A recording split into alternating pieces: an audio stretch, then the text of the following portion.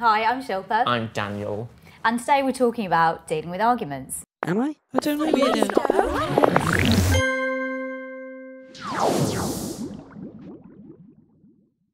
Arguments can start for lots of different reasons. They can be with your siblings, your friends, your family. And arguing is fine. That is part of growing up. That is part of family Oh, life.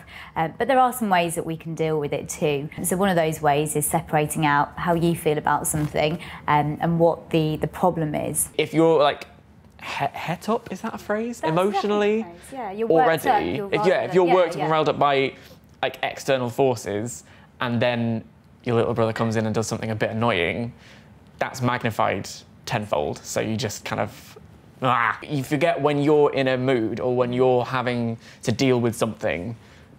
Everyone around you doesn't also have that exact thing that you're dealing with. You might remove yourself from the situation. If you remove that combustible element and you kind of are able to go away and just go, breathe, just breathe for a second and then think, right, what's happening?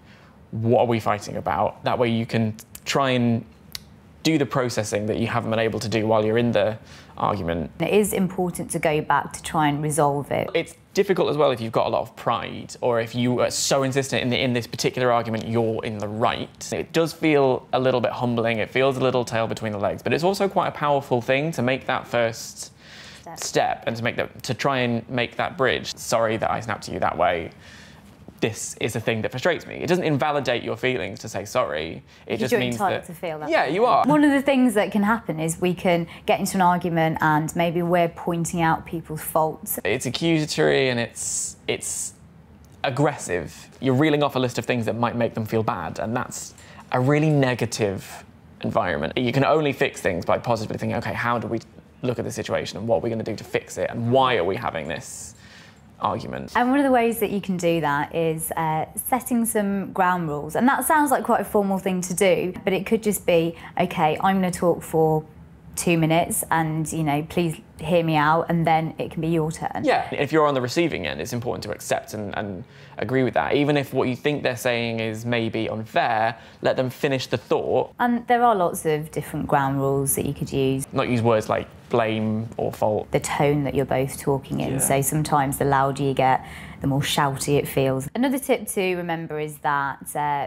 you're both human. trying to remember what it what it might be like to be in the other person's shoes. There are people with feelings and their own problems, and sometimes they bring those things into the argument. It's about growing your empathy skills and Yeah. thinking, well, maybe they've had a bad day or you know how might they be feeling because of something that happened to them sometimes it can help to make an action plan coming to a compromise even if both of you can't quite um, agree on what it is that you want to achieve I'm not going to get everything I want. You're not going to get everything you want. But what can we get so we can both get some stuff and move forward and not have this fight anymore? And if you feel like maybe you're carrying something around from the last argument that you had, you can always talk to a Childline counsellor um, or someone that you can trust. We also have a video coming up about how to cope with your parents arguing, which will also feature Dan. So until then, we'll see you next week. Bye. Bye.